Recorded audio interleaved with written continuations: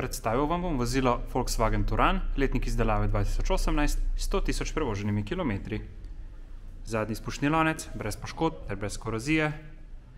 Zadaj levo, prejma, vzmet ter blažilnik se v odličnem stanju. Enako na desni strani, prejma, vzmet ter blažilnik se odlično ohranjeno. Rezervoar za gorivo, brez poškodb.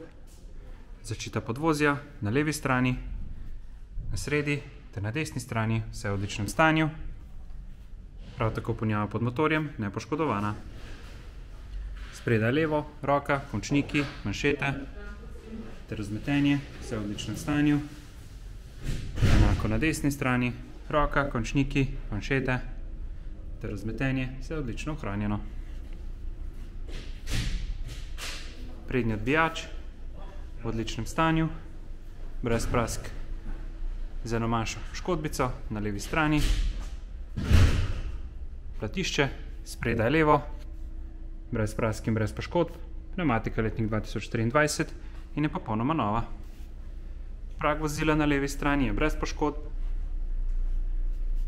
Platišče, spredaj levo, brez poškodb in brez prask, pnevmatika letnik 2023 in je popolnoma nova.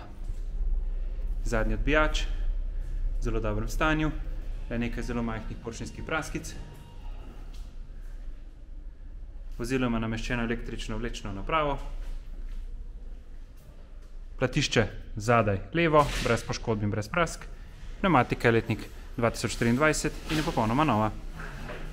Prag vozila na desni strani je brez poškodb.